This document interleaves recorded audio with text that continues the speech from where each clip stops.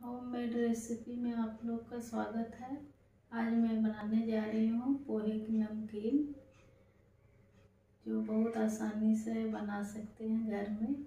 कढ़ाई रख दिया, गरम हो गया है। मैंने तेल डाला है आप लोग कोई सभी तेल इस्तेमाल कर सकते हैं। रिफाइंड ऑयल या फिर और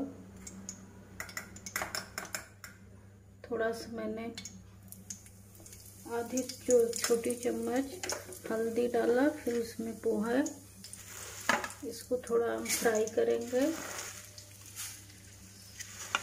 लिया है मैंने।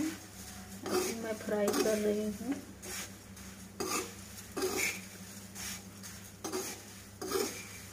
मीडियम टू हाई फ्लेम पर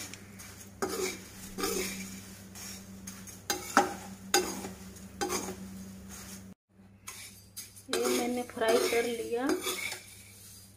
इसको फ्राई करने में लगा चार से पाँच मिनट तक।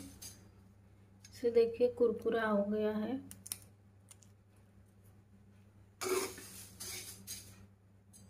अब मैंने इसको एक अलग प्लेट में रख लूँगी। फिर मैंने थोड़ा इस मूँगफली ली हूँ। और मखाने इस सारे को थोड़ा थोड़ा करके तेल इसमें फ्राई कर लूँगी।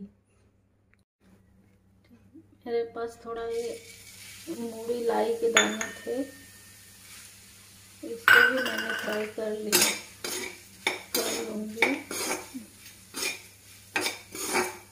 आपके पास, मेरे पास थोड़ा ही था, आपके पास ज़्यादा होगा तो आप ज़्यादा भी इसमें डाल सकते हैं।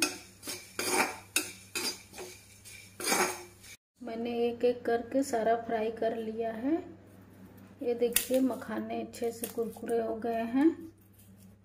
अब मैं इसमें थोड़ा सा तड़का लगाऊँगी। थोड़ा कड़ी पत्ता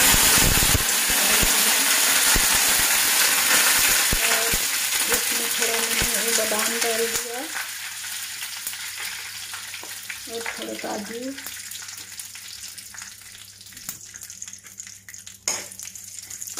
और आपको मीठा खाना पसंद है तो आप इसमें किशमिश भी डाल सकते हैं। और एक चम्मच मैंने इसमें लाल मिर्च डाल, लाल मिर्च का पाउडर डाल दिया। आप ज़्यादा तीखा खाना पसंद करते हैं तो और भी डाल सकते हैं।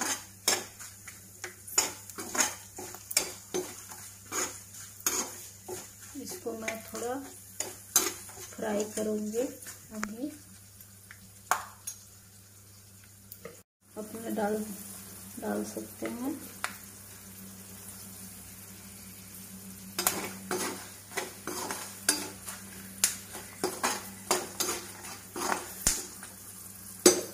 अब मैं अब इसमें सारा, जो इतना फ्राई की थी, सारे मैं डाल दूँगी इसको। अच्छे से मिलाऊँगी।